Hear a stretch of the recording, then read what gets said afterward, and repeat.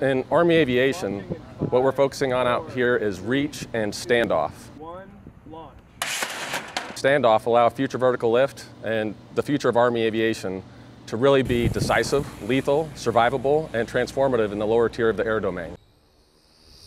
That's where we absolutely are focused on enabling the ground force commander and the ground maneuver force with a mesh network and other capabilities that they might need to bring to bear on the battlefield that aren't incumbent on them to bring themselves. And what we'll be able to demonstrate is Army aviation absolutely partnered, absolutely essential in the lower tier of the air domain, enabling that cross-cutting communication and a resilient self-healing mesh network to really get after the sensor to shooter and take down the targeting time from 10 to 20 minutes down to as, as low as 30 seconds to one minute. Imagine that there are miniature cell phone towers that also broadcast some of the same non-latent information across the battlefield. So with a cell phone, you have bandwidth issues and some people might be looking at different things. This is a cell phone network that absolutely enables a phone call to get from one place to another without knowing the other person's phone number.